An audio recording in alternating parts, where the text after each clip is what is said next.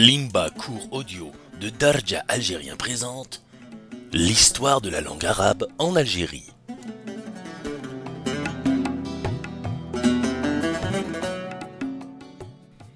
La langue arabe, aujourd'hui largement parlée en Algérie, possède une histoire complexe et fascinante qui reflète les multiples influences culturelles, religieuses et politiques de la région.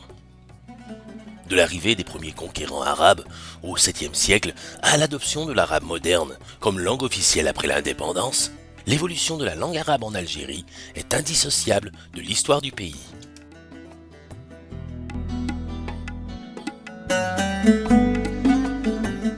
L'introduction de la langue arabe en Algérie remonte au 7e siècle, avec la conquête islamique du Maghreb par les armées arabes.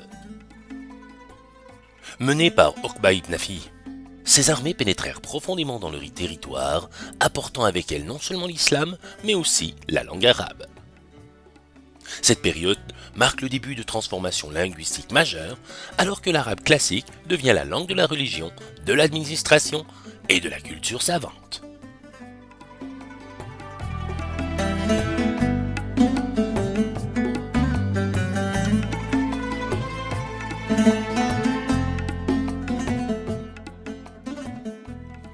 Des siècles suivants, notamment sous la dynastie des Almoravides et des Almohades, l'arabisation de l'Algérie s'intensifie.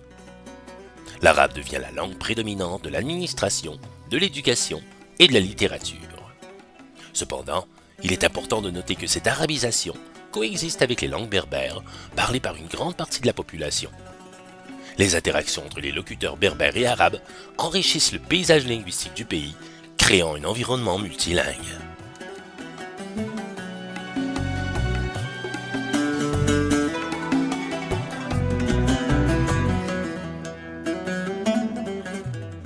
Sous la domination ottomane, l'arabe continue de jouer un rôle central, bien que l'ottoman turc soit également présent, notamment dans les cercles administratifs et militaires.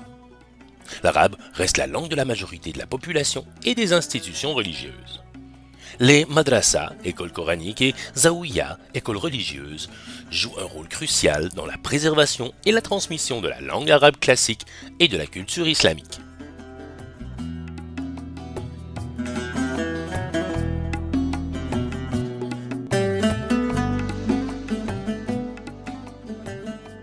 Avec l'arrivée des Français en 1830, la situation linguistique de l'Algérie change radicalement.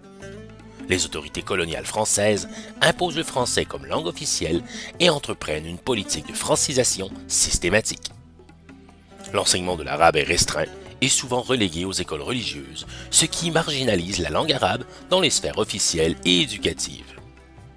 Malgré ces efforts, la langue arabe résiste les mouvements nationalistes et les leaders religieux utilisent l'arabe comme symbole de l'identité culturelle et de la résistance à la domination coloniale. Des journaux, des livres et des pamphlets en arabe circulent clandestinement, nourrissant le sentiment nationaliste.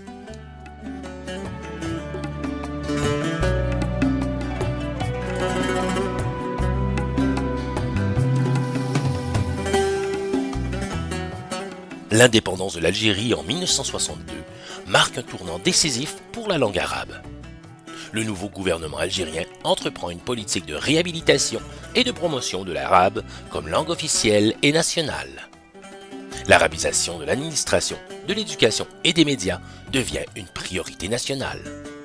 Les programmes scolaires sont révisés pour inclure un enseignement renforcé de l'arabe et les médias d'État diffusent principalement en arabe.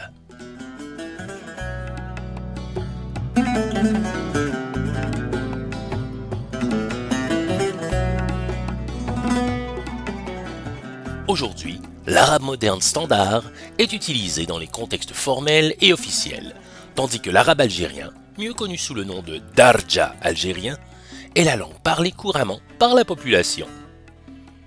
Le Darja algérien est un dialecte riche et diversifié, influencé par des siècles de contact avec les langues berbères, le français et d'autres langues étrangères. Il représente une fusion unique qui reflète l'histoire complexe de l'Algérie. Limba cours de Darja algérien est heureuse de vous proposer plusieurs leçons pour apprendre le dialecte parlé en Algérie. Le lien est en description. Parallèlement, les langues berbères ont également été reconnues comme langue nationale en 2002 et officielles en 2016, témoignant de l'engagement de l'Algérie à préserver son héritage linguistique diversifié. Cette reconnaissance permet une coexistence harmonieuse entre l'arabe et les langues berbères, enrichissant ainsi le paysage linguistique du pays.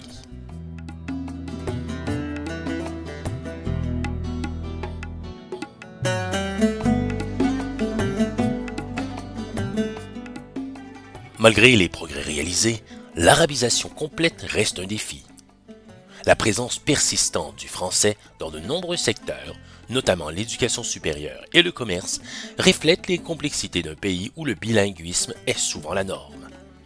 La gestion de cette diversité linguistique est un enjeu majeur pour l'Algérie contemporaine, qui doit équilibrer l'héritage colonial avec l'identité arabo-berbère. L'histoire de la langue arabe en Algérie est une saga de résistance, de renaissance et de coexistence. Limba Kouroudio est heureuse de soutenir l'Algérie dans son engagement à préserver et à promouvoir son patrimoine linguistique dans un monde globalisé.